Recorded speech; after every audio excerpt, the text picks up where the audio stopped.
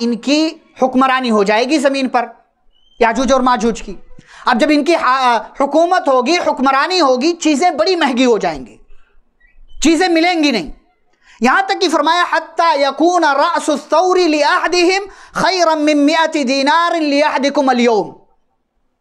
फरमाया कि बैल का एक सर, बैल का एक सर उनके लिए सौ दीनार से कहीं ज़्यादा बेहतर होगा।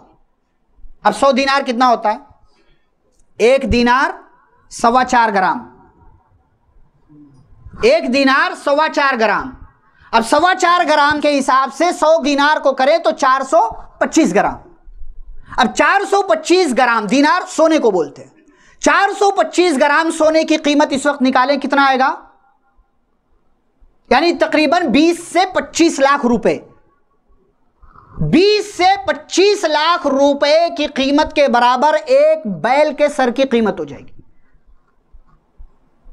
ये इनके आने का असर, फितना, फसाद, बिगाड़, खराबी, ज़मीन में इंतशार ये सारी चीज़ें